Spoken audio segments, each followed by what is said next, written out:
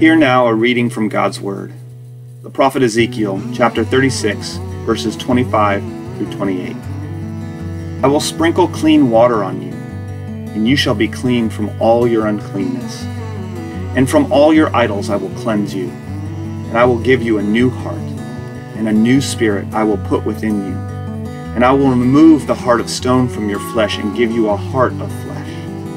And I will put my spirit within you and cause you to walk in my statutes and be careful to obey my rules. You shall dwell in the land that I gave to your fathers, and you shall be my people, and I will be your God. And also a reading from Revelation 22, verses 1 through 5.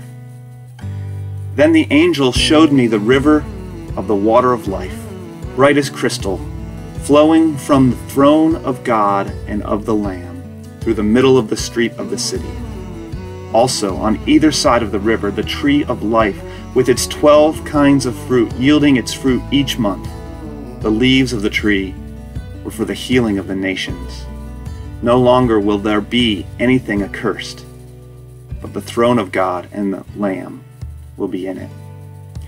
And his servants will worship him. They will see his face, and his name will be on their foreheads and night will be no more. They will need no light of lamp or sun, for the Lord God will be their light, and they will reign forever and ever.